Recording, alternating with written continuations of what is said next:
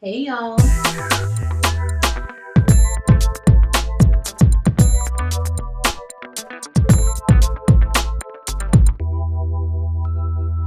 Welcome back to my channel. If this is your first time visiting, I'm Patrice and welcome.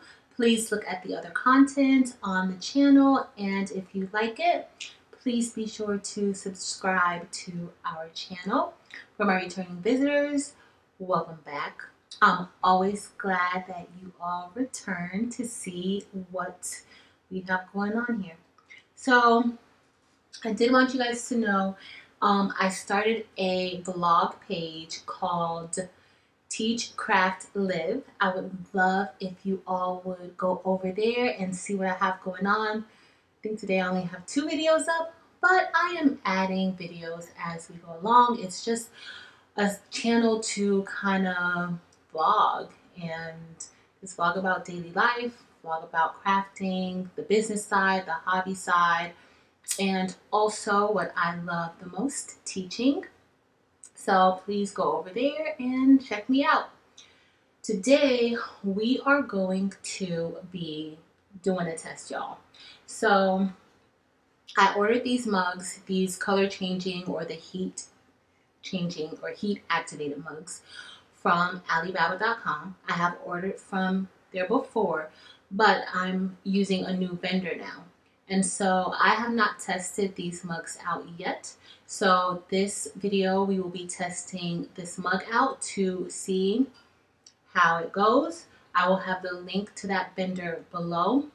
Also, I ordered some color changing mugs from Amazon and we're gonna try these out. These mugs come eight in a pack for $39.99, which isn't bad. That would make it about $5 per mug. However, I think I ordered about 96 of these from Alibaba for maybe $180. Something, something like that. Very reasonable. So I'm going to go ahead and just open this up. All right, y'all. So I've already unwrapped the mugs from Amazon and I didn't take out the plastic because I want to make sure that they are separate. So the big difference already that I see with this, the one from Amazon and this, this has a matte finish, which I knew. This is, this has a shiny coat. So that's one difference but the quality is very nice. Amazon packaged these very, very well. Not one was broken. So that's always impressive to me, sending material like this through the mail. I already have my templates or the images that I'm going to use printed out and I'm just going to wrap this. Okay, so if you want to see, I think in another video where I did another mug, um, it's more of a step-by-step -step tutorial. This video honestly is just to show how they sublimate. Okay, so how the one from Amazon sublimates and also the new vendor that I decided to use, um, how they sublimate. Okay, so I'm not doing any designs with this. The ink that I use for both of these images is my ink, which is Dyenamic Ink. You can find that below um, at my Etsy shop and, and that is the Dyenamic Print Supply Etsy shop. But the ink is there as well. I used a sub paper to print on and I'm just going to wrap this. The method that I'm going to use, I am going to simply use painter's tape to make sure it's nice and tight around the cup. I will show you guys that. All right, y'all. So I already wrapped this one, and my um, image is sized pretty well. The only thing is, is that when I printed out these images, I printed out like three of these by mistake. And when I printed out the first one, I realized that in the print settings portion, it wasn't properly aligned in the in the page um, or the parameters of how it's printed in the page. So, um, yeah, but I was not going to print another set of these because this is for me and the other one is for my daughter so yeah should be fine but it looks like the template under the other listing for the magic mug or the color changing mug it it's the same. It fits both of these cups also. And I think that's the, these are 11 ounce cups. So I'm just going to tape this down a bit. And then what I'm going to do is I'm going to wrap it with the painter's tape. And then we'll put it in the oven for, in our convection oven for about 12 minutes. I intended on these to be full wrap cups because I love the full wrap cups, but I'm okay with it not being a full wrap cup this time. You don't have to use painter's tape. You can use whatever method that you're used to using to sublimate your mugs or tumblers. That works just fine. So just continue to pull that tape tight around your image. Make sure that image is making contact with the cup. Alright guys, so we are all done with wrapping these. And y'all, I did this so like sloppily. I usually wouldn't do it like this, but I'm just trying to get this test done. I want to make sure everything is okay, especially with the ones that I purchased from Alibaba because I want, because I sell these in my store. And so I want to make sure that they do exactly what they're supposed to do, right? But we are going to get ready to head over to the convection oven to put these in. We will be baking these babies at 400 degrees for 12 minutes. Remember, every convection oven is different. Every mug or whatever it is that you're using is different. You have to do what works best for you. So it's always good to kind of do a tester with the products that you're using so that you can make sure that you don't have too much waste.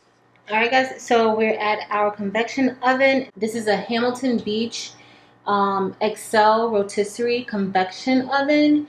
And I got this from walmart.com and we have a heat thermometer inside or oven thermometer and the oven thermometer is telling me that it is 400 degrees inside so I am going to go ahead and place our mugs in here for 12 minutes.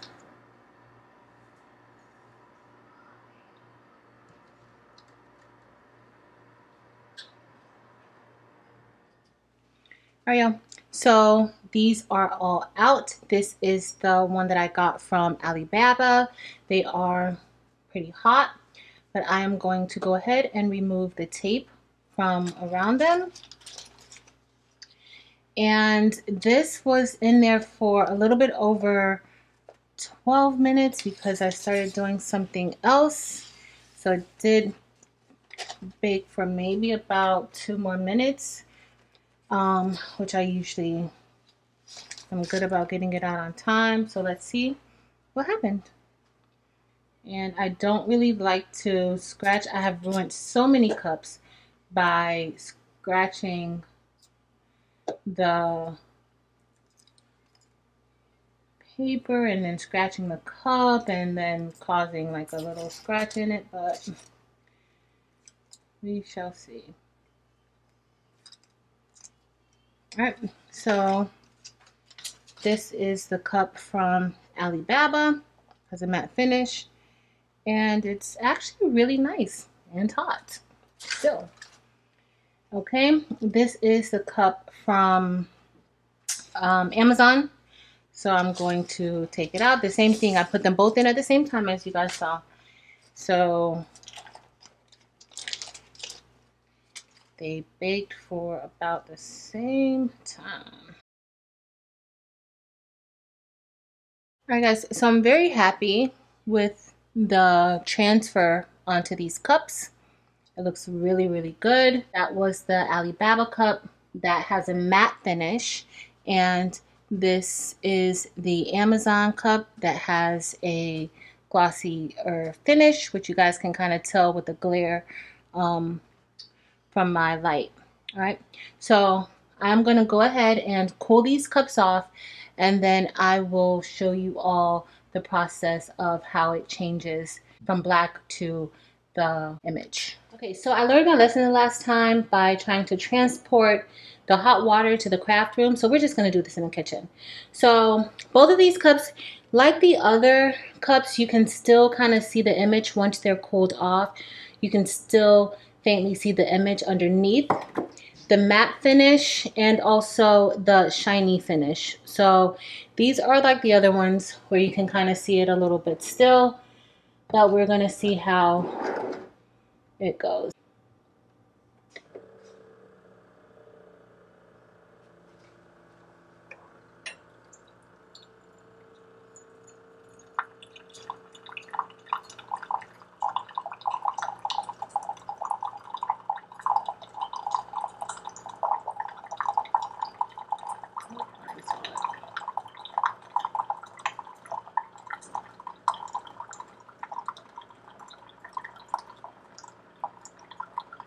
See it's already changing.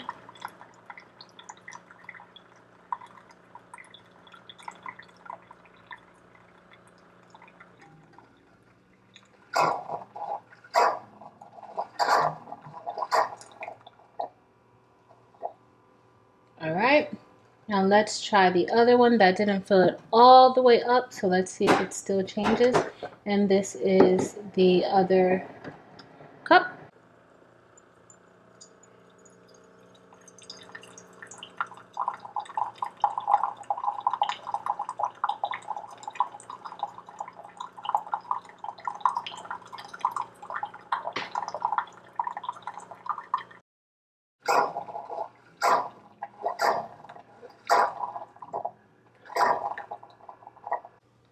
Okay, and this is our Amazon cup or the one that we ordered from Amazon.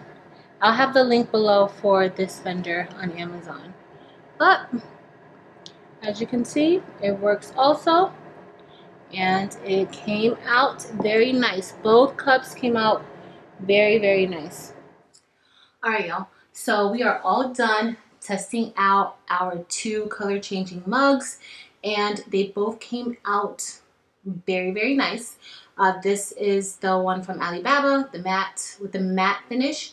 It looks very nice sublimated. And this is the one from Amazon.com. You can't go wrong with either of these. I'm very, very pleased with them. So if you enjoyed this video and you found it helpful, please be sure to like the video. And also, if you are not a subscriber, please go ahead and hit the subscribe button now and become a subscriber. Also hit the bell so that you are notified of whenever we post new content. Okay, so either way, either Alibaba or Amazon, they both came out wonderfully. Right, so that's it for today, y'all. Thank you so much for watching. Until next time.